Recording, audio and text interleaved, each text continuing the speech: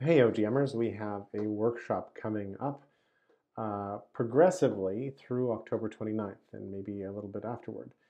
Uh, this is a document created by Matt Saia and his crew at Collective Next, uh, who are basically uh, core crew at OGM, uh, for designing this workshop. And I'm going to talk through it as part of inviting you to participate. Uh, and we presented this briefly in this Thursday's Rex call, so on Thursday, October 15th. We talked it through, and if you want to listen to that conversation and watch uh, Matt talk about it, go to that recording.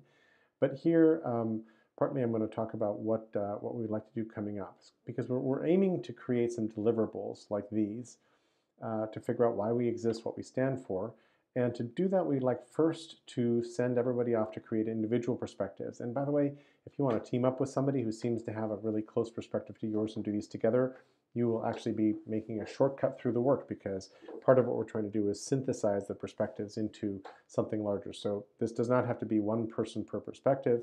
And then what we would love for people to do is uh, make a short video, just maybe five minutes, make a short post, a short essay, no more than 2,000 words, or be prepared to show up for uh, the meetings as will be described in the schedule here to pitch for five minutes only uh, your perspective on what is sort of the future state of OGM. And we're calling this whole thing OGM 2025 because the idea is uh, imagine it's, the, it's we're, you know, life five years from now and OGM has been a success. What made it a success?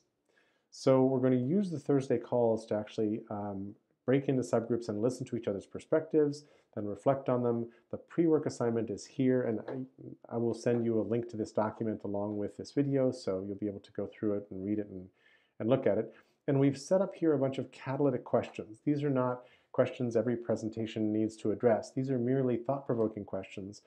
And each of us has a different piece of OGM that we find attractive.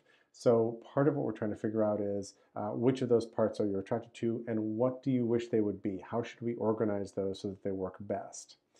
Uh, on the 29th for the full session, we actually would like to have people RSVP, so we're going to send out an Eventbrite invite, and it's five hours long. We would like people to, to, to promise to be there for the five hours. Um, so it's going to be a full workday. Uh, everything we do until then will be included in. So if you want to have your opinion heard, then show up at the, at the meetings before, create some media so we can put that into the mix. Uh, and we will, we will sit down and try to synthesize those perspectives uh, on the day of.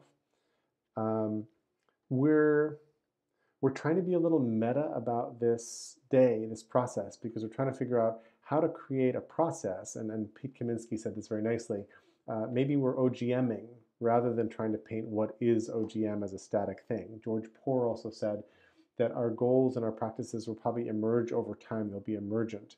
Um, so here we're trying uh, in this workshop and this work together, we're trying to figure out what does this look like and how to put some structure around it so we know when we're working that we're working in the way we want to do and that we're providing the particular kind of value that OGM can bring to other communities, for example.